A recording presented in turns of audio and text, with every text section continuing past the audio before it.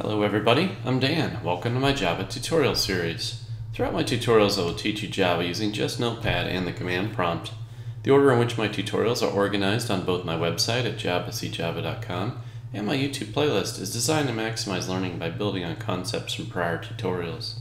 This tutorial is about the file reader class and specifically I'm going to be using the constructor that takes a string file name parameter. I'm going to open up my web browser to my website, javacjava.com, select begin, and scroll all the way down to the file reader class tutorial. Now the purpose of the file reader class is to simply read character-based files. The file reader class implements auto-closable so we can use the try with resources type exception handling. There are three overloaded constructors in the file reader class, this tutorial will only use the one that takes a single parameter string value representing the file name. Now regarding the other two constructors, I will revisit this class later once I've demonstrated the file and file descriptor classes. It is also interesting to note that the file reader class does not define or override any public methods. So it inherits all of its methods from its superclass input stream reader, which is just the previous tutorial that I did here. Now input stream reader is a subclass of reader, which is a subclass of object, and that describes the class hierarchy. Okay, let's go ahead and let's move the browser off screen here real quick there. We're gonna do a couple things. We're gonna make a file this time. But I've got a shortcut to the command prompt on my desktop. If you don't, you can create one really fast by right-clicking, selecting New Shortcut, CMD next, and Finish. It's just that easy. Let's go ahead and open that up, type in I want to do is type in javac, which is a Java compiler command. You should see all this stuff scroll by. However, if you receive an error message, watch my tutorial on installing the Java Development Kit. You want to make sure you get that installed and configured properly before continuing.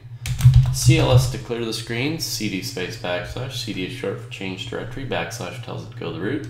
I'm going to make a directory with the md command called Java. I already have that folder, but if you don't, I'll go ahead and create it for you change directories to the Java folder. I'm going to make a directory here called fr, short for file reader. Change directories to fr. First, we're going to notepad example.txt. Okay? And it's just going to be a simple text file. We'll bring the browser back on screen here. We'll highlight these five lines of text, Control C to copy, or right click and select copy. Let's move that off screen. Let's come over here and let's just paste that in and save it and get rid of that. All right, now we want to um, notepad fr.java. fr.java is going to be the name of our source code file, also known as a compilation unit. And let's go ahead and bring this back over here. Really simple code today. This is building on my input stream reader class anyway, so there's not a whole lot to, if you haven't watched that one, you'll definitely want to watch that, uh, that one prior to this one because you'll be a little lost maybe. But um, especially since it inherits everything from input stream reader. So let's go ahead and just save this.